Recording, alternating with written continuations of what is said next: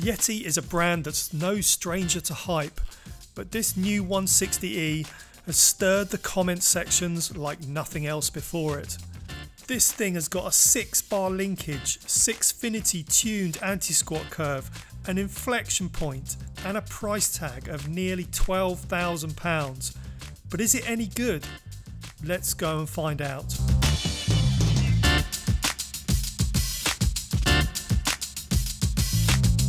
Now, apparently, it's taken five years to develop this bike, and while I can't argue with that, my hunch is Yeti could have brought it to market much sooner if it wanted to. I think Yeti wanted to let some of the other boutique US brands enter the lion's den first and take the flack from a fairly hostile North American market rather than having to do it itself. So let's talk about this Sixfinity suspension. It's a complex linkage for sure, but it basically aims to do a similar job to Yeti's Switch Infinity design found on analogue bikes like the SB150. Now, during the early part of the travel, the lower link rotates upwards until about halfway when the Sixfinity strut starts pushing it down again. Now this has the effect of changing the virtual pivot point and the direction of migration of the virtual pivot point, which affects the anti-squat characteristics. So this means Yeti can keep the anti-squat consistently high through the sag zone for pedal efficiency and then once past the inflection point it can fall away to give good bump compliance, support and less pedal feedback. Now what else do I need to tell you about this new Yeti? Well, comes standard the bog standard Shimano EP8 motor, 630 watt hour battery. So you get a full carbon frame and on this top T1 model there's an XT drivetrain, factory level Fox suspension and SRAM code RSC brakes with a whopping 220 millimeter rotor up front.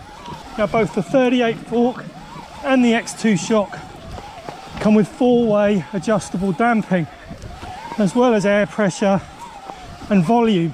So I'm really pleased to say that Yeti has done a great job with its online suspension calculator. The recommended pressures gave me perfect 19 and a half millimeters of sag. Bearing in mind this has got a 60 millimeter stroke shock, so that's just under 30%. And the damping settings were really close as well, which meant I could just jump straight on this and get shredding a whole lot less time faffing around getting it set up. Most bikes now come with flip chips, usually to adjust the geometry. But Yeti has gone a bit left field on the 160E with progression settings. So by changing the lower link, you can adjust the progression between 25 30 and 35%. Now it comes standard with the 30% setting and that's what I've been running today. And so far I've found it works really well. With a great compromise between support and bump compliance and I've only managed to bottom it out on some of the flattest landings. Now Yeti says the 160E is a dedicated race bike, which to me infers something uncompromising and edgy. But in fact, I found it really friendly and easy to get along with. It actually feels a lot like the superb SB150, which is hardly surprising when you see that the geometry is almost identical In fact, the only differences are that the chainstays are 10 millimeters longer on the E160, the 160E. That's because the motor sticks out the back. And the bottom bracket is three millimeters higher. But actually, the 160E sags so much under its own weight that the static measurements are basically the same. And Yeti has also stuck with a 29 inch rear wheel rather than turning it into a mullet.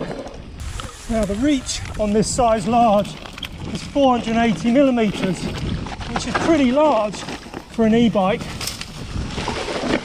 So I've swapped the stock 50 millimeter stem for a 40 to help bring my weight back and make the front end a bit easier to lift Right, as you can see, this is not the easiest bike to manual.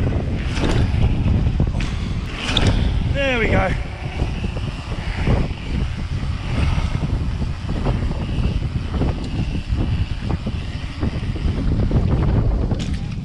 Now, as I've said, the 160E is not the most playful or agile of bikes and it's not that easy to manual Now that could be down to the chunky 23 and a half kilogram weight, but it also could be to do with the anti-squat falling away deeper into the travel when you load it up to get that pop. Now, it's definitely not as adept at rapid direction changes something like the YT decoy or specialized turbo Levo. But it rails constant radius turns with absolutely bucket loads of confidence. The head angle might not be the slackest around at 64 degrees, but there's no shortage of front end stability when trucking along. And the bike feels great on tracks with a mellow gradient and medium gruff, roughness like this. Now I love it on constant radius turns like this. You just lock it into the programmed arc and it just tracks perfectly. Now, despite the relatively high anti-squat numbers, the 160E is pretty good on rough climbs the shock is actually quite free to move over bumps, so there's quite a bit of traction. But when I really stomp on the pedals, everything tenses up and just drives me forward. But at the same time, I've got to question the need for so much complication when you've already got an extra five or 600 watts of power under your belt Am I really looking for the ultimate pedal efficiency? I'm not so sure. So I think it's about time we talked about my complaints. And when you're spending £12,000, you can afford to be picky. Now, firstly, we know a lot about the Shimano EP8 motor. We know that it rattles. Now, this bike doesn't seem as bad as some that I've ridden, but it is there. You do notice it on a quiet descent when you're not going too fast there's not too much wind rush going past your ears it's just a bit of an annoying noise on an otherwise quiet bike. Equally the stock Shimano charging port feels a bit cheap and flimsy and the battery release mechanism tends to get a bit stiff.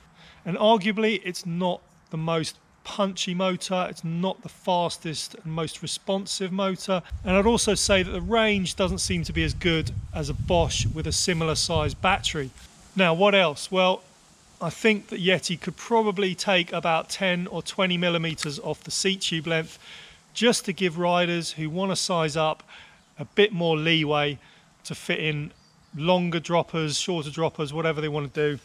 Now there's lots of dropper insertion depth in this frame, but at 460 it's quite tall compared to a lot of contemporary bikes.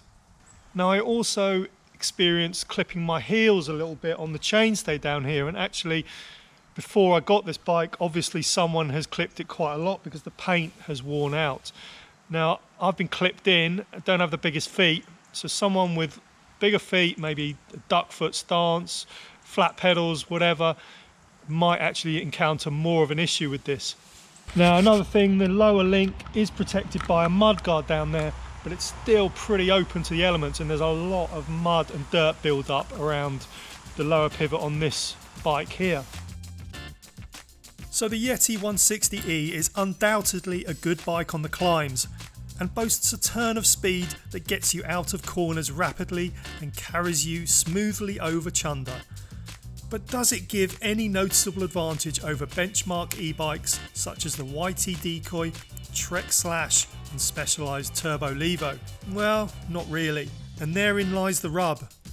As much as the 160E is a really good e-bike, it doesn't move the game on beyond any of those cheaper alternatives. You're paying a huge premium for that head badge, which, if history has taught us anything, probably means that everyone will want one.